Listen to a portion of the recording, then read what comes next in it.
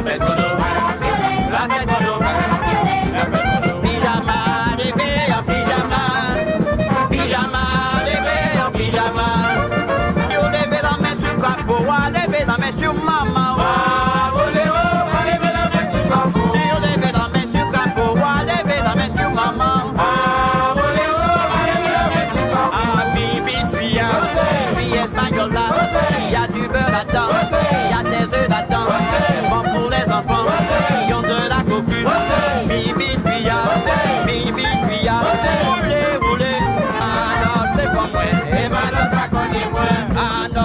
moins. Emma ne t'a connu moins. Ma note pas en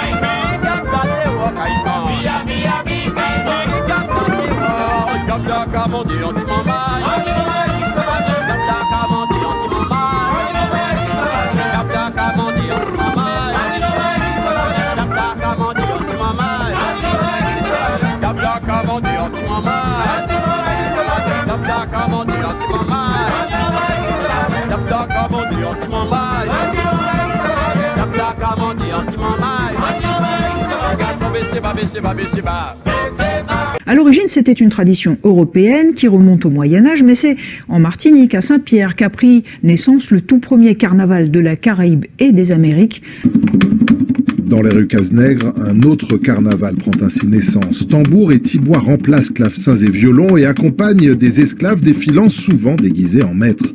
Un moment vécu comme une parenthèse, un répit de quelques jours par an jusqu'à la libération de 1848 là, ça y est, on a commencé à voir les vidées qui se déversent dans les rues de Saint-Pierre. On sent déjà qu'il y a cette énergie et ce dynamisme et cette, euh, cette joie qui est liée au besoin de, de, de se libérer ou de déverser des choses. À Saint-Pierre, les riches défilent à cheval les dimanches précédents Mardi Gras, tandis qu'une foule en liesse envahit les rues du Petit Paris des Antilles. Ce comptoir colonial est un port incontournable de la région, dans lequel se produisent des troupes de théâtre ou de cirque venues du monde entier. Les personnages du carnaval prennent naissance dans ces rues ou dans les balles organisés en soirée. La créativité des participants semble sans limite. Les Touloulous, qu'on se le dise, sont de Saint-Pierre. C'était les filles des bourgeoises qui partaient euh, se faire accompagner de Léoda pour aller après le, copain. Mais il était fait contre le loi, euh, tu vois. Et Léo, cette créativité s'exprime également à travers les chansons de carnaval coquines ou sarcastiques, des satires toujours empreintes de dérision et de caricature. Il faut attendre la seconde moitié du XXe siècle pour voir les festivités s'organiser réellement à Fort-de-France, avec la création d'un comité actif du carnaval. Les orchestres défilent sur des chars, des personnages emblématiques du carnaval de Saint-Pierre sont de retour dans le vidé. Dans les années 70, le premier groupe à pied fait son apparition.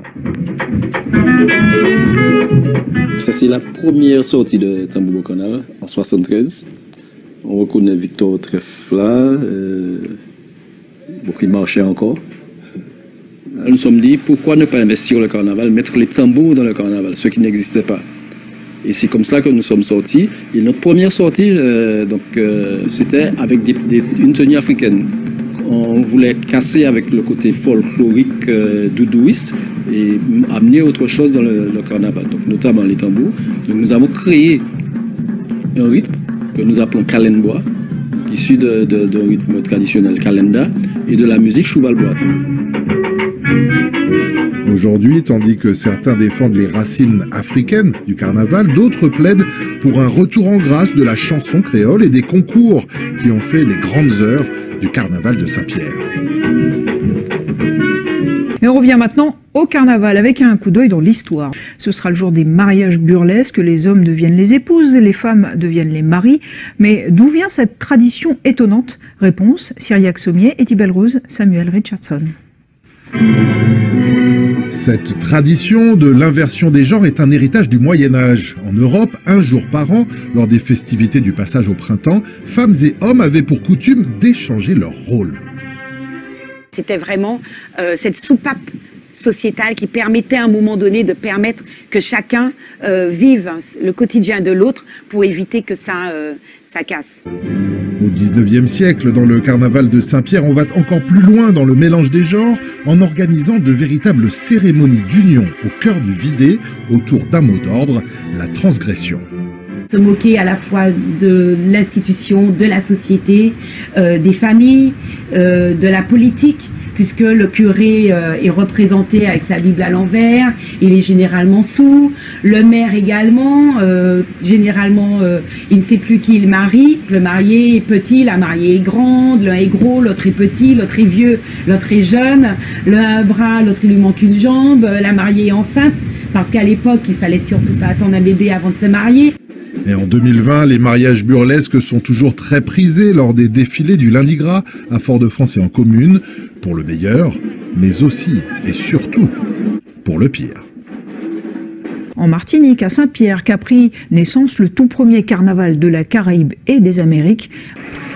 Retour sur le carnaval avec notre page d'histoire. Zoom sur la tradition des Diables Rouges. Ces personnages emblématiques du Mardi Gras constitueraient un héritage venu de l'Afrique de l'Ouest. Cyriac Sommier, Eddie Belrose et Marc-François Calmot nous en disent plus.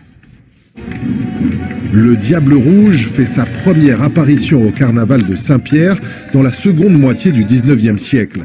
Il est alors entièrement fabriqué avec des matériaux de récupération, peau de cabri, cornes de bovin, morceaux de miroir, autant d'éléments censés symboliser la puissance physique, sexuelle ou encore spirituelle, une tradition héritée des masques à cornes d'Afrique de l'Ouest. Ces masques-là existent à l'identique, à l'identique, donc dans la région de Casamance. Et ces masques-là sont des masques, ce sont des divinités.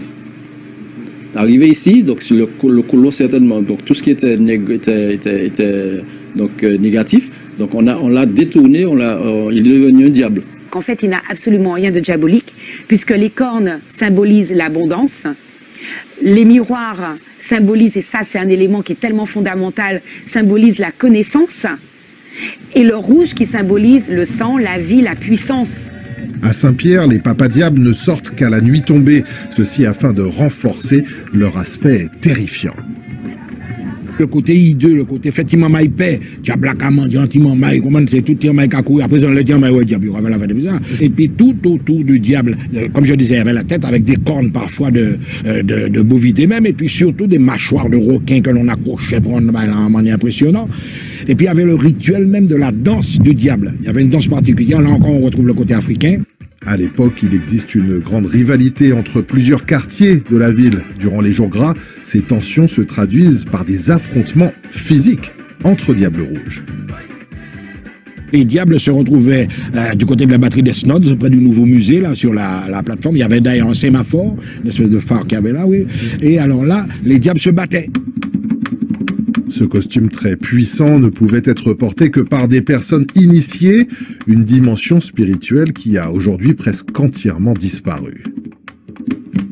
On essaie de revaloriser, mais c'est vrai que comme dans le Bel Air, comme dans plein, de choses, donc le, côté spirituel, le côté mythique se perd. Un travail qui doit se poursuivre pour éviter que ne soit totalement dénaturé un personnage aussi emblématique de notre carnaval et de nos origines. En Martinique, à Saint-Pierre, qu'a pris naissance le tout premier carnaval de la Caraïbe et des Amériques. Coup de projecteur maintenant sur les origines du mercredi décembre. Partout ailleurs, le carnaval s'arrête au soir du mardi gras, sauf en Martinique où les festivités se prolongent. Une journée supplémentaire avant les 40 jours de carême, une tradition héritée du grand carnaval de Saint-Pierre. Cyriac Semé, Édile Belrose et Marc-François Calmou. Cette tradition unique du mercredi des cendres apparaît à la fin du 19e siècle quand un groupe de lycéens de Saint-Pierre prend l'initiative de prolonger le carnaval au-delà du Mardi Gras. Le mercredi des cendres a été imposé par les puritains, ils se sont dit non, donc ils font jouer le carnaval en plus. Ainsi, le mercredi, jusqu'ici dédié à la messe des cendres, censé marquer le début du carême, devient une autre journée de fête et de débauche, pas vraiment du goût de l'Église. Dans le vide du mercredi des cendres de Saint-Pierre, on voyait des cochons déguisés en, en diablesse, on voyait toutes sortes de choses? On narguait en quelque sorte la religion. Et le curé leur avait dit, bon, notre café la fête depuis nous, mais cette année, il y aura un grand malheur. C'est 1902, l'année de l'éruption de la montagne Pelée.